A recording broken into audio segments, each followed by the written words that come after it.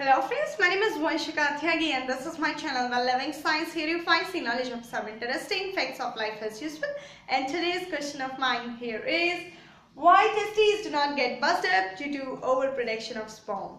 Actually, the answer of this question is hidden in a part of brain named as hypothalamus. This hypothalamus will release some kind of GnRH gonadotropin releasing hormone. These GnRH will act upon the anterior pituitary and this anterior pituitary will then release two hormones. One is FSH, follicular stimulating hormone, while the another one is LH, luteinizing hormone.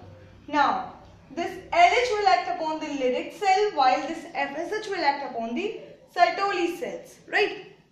Now, Leydig cell will produce the another hormone named as testosterone and this testosterone is giving the positive feedback to the spermatogenesis. Means this is helpful in the spermatogenesis or I could say this is helpful in the sperm production. Now, this is how the sperms are being formed. If they are being formed continuously, now the biggest question is why the testes do not get bust up. Why don't they get bust up is that the answer which is hidden behind these Sertoli cells, right?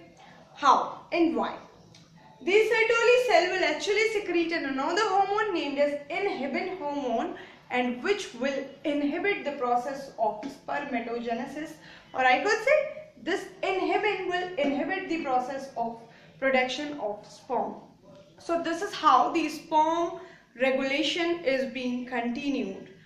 As much as the sperms are being needed, they are being produced. As the need is being less, the production will be less under the influence of an hormone named as inhibin hormone which is being produced by the cells named as Sertoli cells.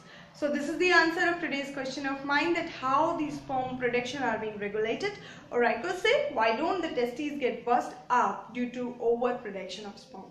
If you people like my videos, please don't forget to like, subscribe and share. Thank you. Have a good day and don't forget to send feedback on my email address as usual vanshikatyagi98 at gmail.com.